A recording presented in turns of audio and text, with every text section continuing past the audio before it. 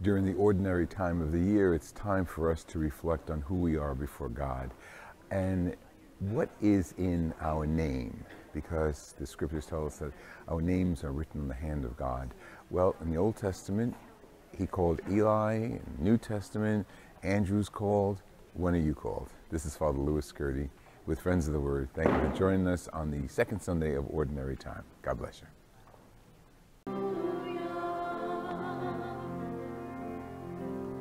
The Lord be with you. A reading from the Holy Gospel according to John. John the Baptist was standing with two of his disciples, and as he watched Jesus walk by, he said, Behold, the Lamb of God. The two disciples heard what he said and followed Jesus. Jesus turned and saw them following him and said to them, What are you looking for? They said to him, Rabbi, which translates as teacher, where are you staying? He said to them, Come and you will see. So they went and saw where Jesus was staying, and they stayed with him that day. It was about four in the afternoon.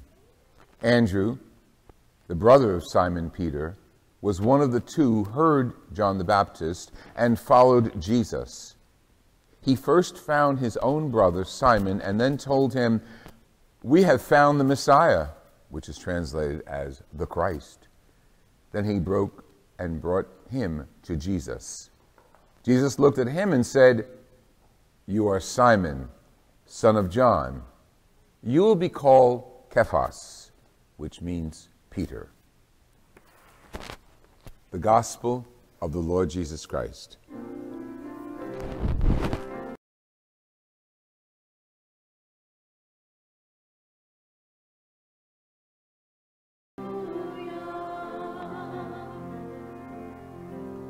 The Lord be with you. A reading from the Holy Gospel according to John. John the Baptist was standing with two of his disciples, and as he watched Jesus walk by, he said, Behold, the Lamb of God. The two disciples heard what he said and followed Jesus. Jesus turned and saw them following him and said to them, What are you looking for? They said to him, Rabbi, which translates as teacher, where are you staying? He said to them, Come and you will see. So they went and saw where Jesus was staying, and they stayed with him that day. It was about four in the afternoon. Andrew, the brother of Simon Peter, was one of the two who heard John the Baptist and followed Jesus. He first found his own brother Simon and then told him, we have found the Messiah, which is translated as the Christ. Then he broke and brought him to Jesus. Jesus looked at him and said, You are Simon, son of John. You will be called Cephas, which means Peter. The Gospel of the Lord Jesus Christ.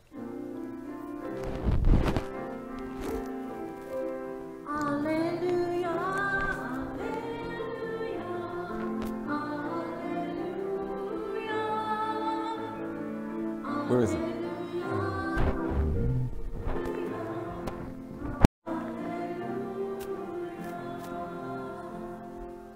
Thank you. You gonna sit down or you gonna just stand there? I know. I, I, don't operate according to like everybody else does, and uh, just doing a little thing different throws everybody off. It's more than common with me. Sometimes my singing does that, throws everybody off you know, I sing and all that, and your response comes out as like half baked, you know, because I threw you off because I don't sing well. So I figure if I can't sing well, you're not going to sing well. No. Um, but that's not unusual with me. Things always happen that way. Uh, that wasn't a bill that she dropped on the floor. It was just a little piece of paper I wanted to keep in here. Names, names, names, names. Think of the names. Think of, think of the names that are significant in your life and, and what is in a name? That's what goes on today in the Holy Scriptures. Think of your own name. Okay, Now think of the name of someone you love. Okay. God called you and God called her or him, just as he calls all of us, just as he called the prophets, just as he called the apostles. So we think of names. We think of, well, my, last night it was, I was in South Jersey with my, my very, very, very good cousin, the matriarch of the family, Carmela. They call, call her Carmi, celebrating 90 years.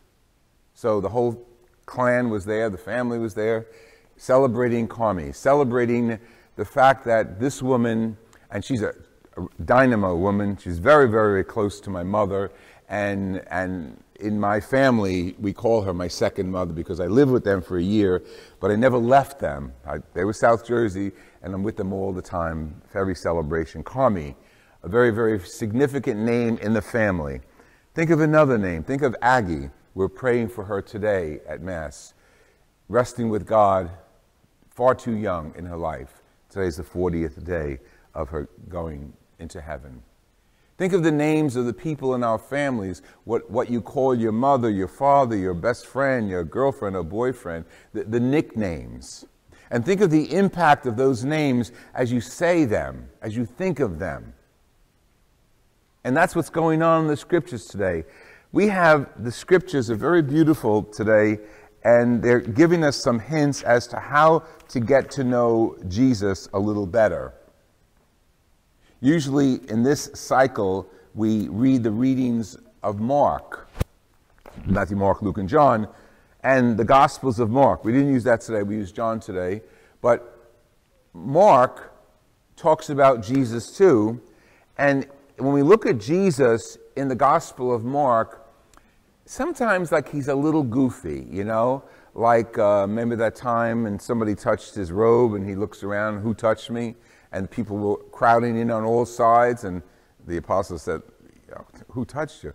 He, he didn't, I'm not con- con- concerned with the question. I'm concerned with the fact that he didn't know who touched him. Mark is often called the gospel of secrets because very often Jesus will heal someone and he'll say, Don't tell anybody. And of course, those who are healed go and do the opposite. They tell and they broadcast it. So the Gospel of Mark gives us a Jesus who sort of comes to understand who he is as the Son of God. Doesn't know it automatically. You know, there's no baptism story in, in Mark. There's no, excuse me, the uh, Bethlehem story in Mark. That doesn't exist. So now we fast forward to this gospel in which another name is given to Jesus. And he's called by the apostles and he's following him. And John the Baptist says, You know, that one is the Lamb of God. Now, they're, they're listening to the Baptist, they're following his teaching, they, they, they know they have to go through repentance, they have to go through a metanoia, a change of heart, and, and they, they look to this one. Historically, Jesus and John the Baptist may have known each other. They were cousins, but we don't know how the continuity of the relationship continued from, from the, the Annunciation and the visitation when Mary went to visit Elizabeth, John's mother, and the baby leaped in her womb. We don't know how close they were. Okay? She was in the hill country, Mary was someplace else. But they were cousins. And their name is, is important. John wasn't supposed to be called John. His father's name is Zachariah. And in the tradition of Jewish customs, the kid should have been named John, excuse me, Zechariah. But the angel, some messenger of God, told Zechariah, You name the kid John. And of course, when he was born, they wrote on, on a tablet, His name will be John. So that we have John the Baptist. Think of what his role is. Every one of us has a role. John the Baptist is meant to do this, to point to Jesus. John the Baptist is meant to introduce him and his disciples to Jesus and, in his own words, sort of descend out of the picture, decline so Jesus could rise up. So every one of us has a name, and every one of us is called to do something, not with the alphabetical writing of that name, but with the significance of that name. No matter who we are, what our name is. Because we have this intimate relationship with God. And, and God, in Mark's gospel, okay, we're not using it right now, but Mark's gospel is very educational for that purpose because Jesus learns who his name is little by little. Everybody says, oh, Jesus knew everything. Jesus didn't know everything. Jesus was a man.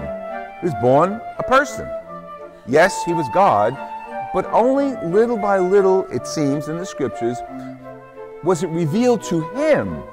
We call it the self consciousness of Jesus, that he was special, that he was the Son of God. So, that revelation is very important for us because it's a hint as to us and our role. How do I know who I am and what I am called to do? Listen to the responsorial psalm that we, we sang a few seconds ago. Lord, I am here. I come to do your will. To do your will is my delight. The Lord puts a new song into my mouth. So we're growing in a relationship.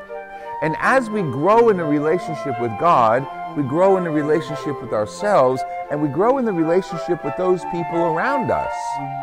Nobody comes to us face value.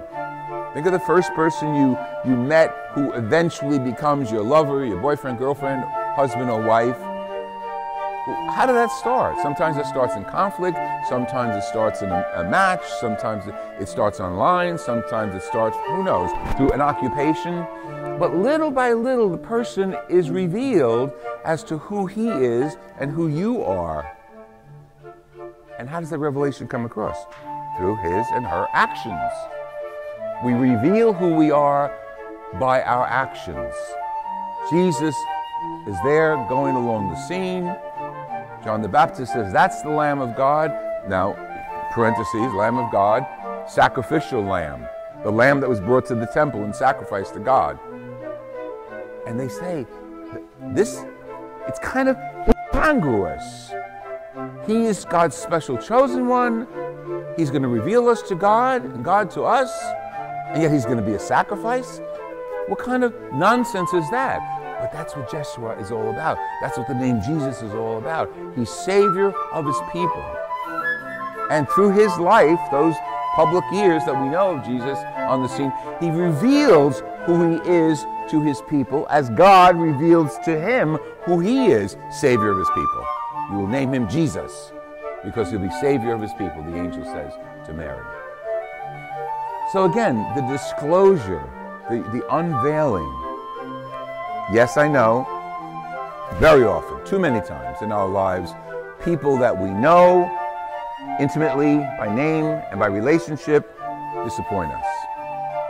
Very important for us to analyze what attracted me to him or her? What brought us together? Is that so gone into the past and vague now that I can't remember it? Have too many barriers built up between me and her or me and him that I, I can't see who the person was that I fell in love with, that I first worked with, that I first met in my neighborhood. Think about, again, think about that significant name. And think about what Jesus had to do. That name, Jesus. Denied, I don't know him, betrayed with a kiss. And that Jesus gives us an example of what it means to be an unfolding son or daughter of God. It means love, it means forgiveness, it means not holding revenge, it means going on and carrying forward with our message. And again, sometimes we, we, have to be we have to be adults to realize a lot of this. But in the temple, Eli was the, the, the prophet, the priest in charge. Samuel was his little uh, associate, like an altar boy, but they have altars like that. But he was sleeping in another room. You heard the scriptures. And, and the, the story goes that Sam hears his name. Yo, Sam. And he runs up and sees the, the prophet. And he says, did, did you call me? No, no, no. Go back to sleep. It's okay. Goes back to sleep, another room.